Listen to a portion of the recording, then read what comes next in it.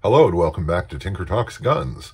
Today we're here to talk about the Beretta Pico, a very small, very, very thin 380 ACP designed for deep cover, very discreet carry. Pico's been around for a while, and um, they also have the Nano, which is a 9 millimeter.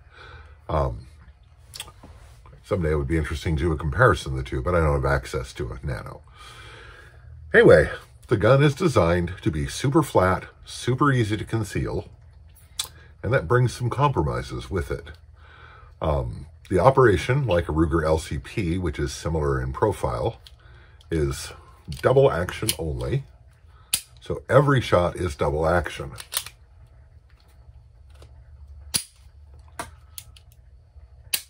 And it does have hold open on the last shot, which is kind of a nice feature for such a tiny pistol.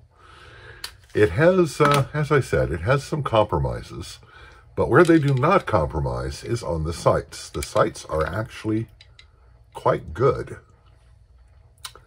The difficulty I have had is in taking adv full advantage of those sights, because in its stock form, at right about 5 eighths of an inch thick, um, including the grip, it's very difficult to grip the gun firmly enough to really get good control for people with larger hands and even people with smaller hands than mine.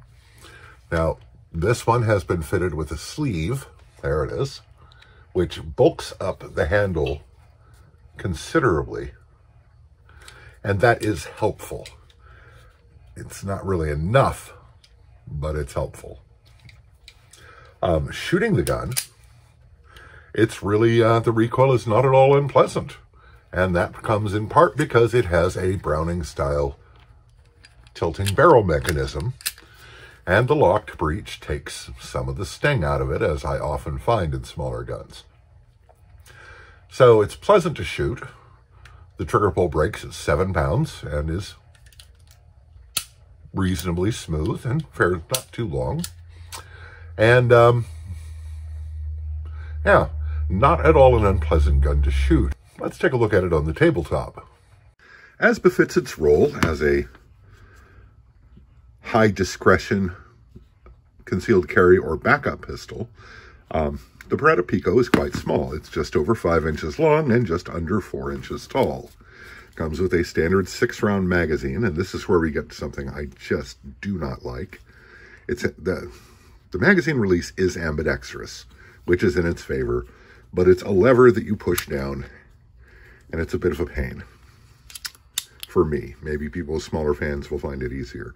It also, because the gun is so small, while the magazine will drop free, it tends not to because it hits my hand. So I would want to, in use, I would want to strip the magazine, which, you know, is not a deal breaker on a gun of this type. Um, six round magazine. As mentioned, quite good three dot sights. Decent trigger pull. But again, very, very small. Now, takedown is very easy and can be accomplished with the lip of a, or the rim of, a of, of an empty cartridge case because I've tried it and it worked. But I have a screwdriver. So what you do is you rotate this in the direction indicated by the arrow, 90 degrees, and the slide comes off. And that's all there is to it. You can see you have a non-captured recoil spring, but it doesn't really seem to want to go anywhere. So it stayed in place nicely when I took the gun apart, and the barrel is removed as you would expect for a gun of this type. It uses a cam type mechanism, and like later Browning, like later Browning style designs, has the uh, the locking lug is actually you know the the barrel hood, and there's really not a lot to see in here. It's well finished as you'd expect of a Beretta, and reassembly is as easy as taking it apart. You just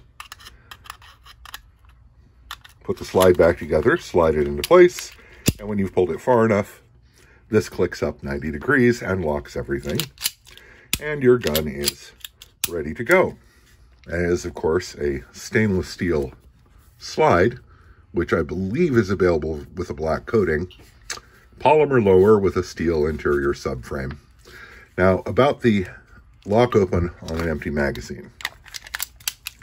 It does, and that's great. But the, the, the slide release can be difficult to actuate. Now that I've said that, of course, I'm having no problem. But if you do have a problem actuating it, well, just slingshot the slide and it works just fine. There are various um, accessories available for this. I do not know if this came with the gun or was added by the owner, but there is an extension available for the magazine, which um, does not increase capacity. It's still a six-round magazine.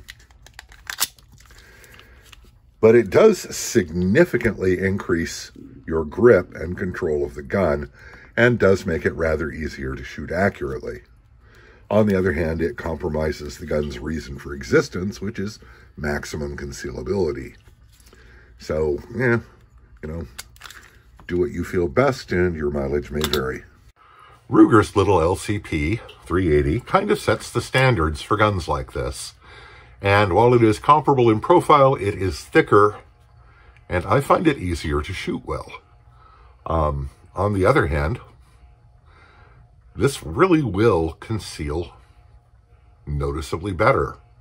Um, a lot of people will carry them in a belly band or in a flat pocket holster.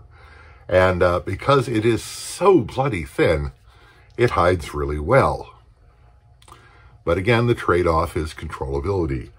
Um, I am sure there are people out there who find this gun perfectly fine in terms of controllability. Neither I, the owner, my wife, or anyone I know is among that number. Now, the gun did function well. I put a full box of ammo through it. Uh, this is, well, it's not unpleasant to shoot. It's not really a gun you're going to shoot for pleasure. It's not at all painful. The recoil, is quite well managed. And uh, especially with ball ammunition, which brings me to another point. The owner tells me that this gun will not run anything but ball. It won't even run ballistic tip critical defense because they jam against the feed ramp. Um, polishing it might help. Don't know. Now, I didn't try to shoot it with anything but ball, but it did function well with ball for 50 rounds, with the exception of one time it kind of acted like it was going to hang up. It didn't. But the slide actually stopped at the back hesitated for a second, and then chambered around. Kind of weird. But the gun kept running, so, you know, I guess it's okay. So, it's a very situational gun. It's like when you want something with a little bit of poop to it, but you absolutely don't want to be compromised as carrying in non-permissive environments work or other places where it would be awkward, um, I think this is a really good choice. As I said, it does function, and while it is difficult to shoot well, I think that can be mostly overcome with practice. And it does shoot well enough it's just not up to the standard of a more serious, dedicated, concealed carry, everyday carry type of pistol. And honestly, as small as it is, that might be a bit much to ask of a gun with this mission, which is to stay hidden. Anyway,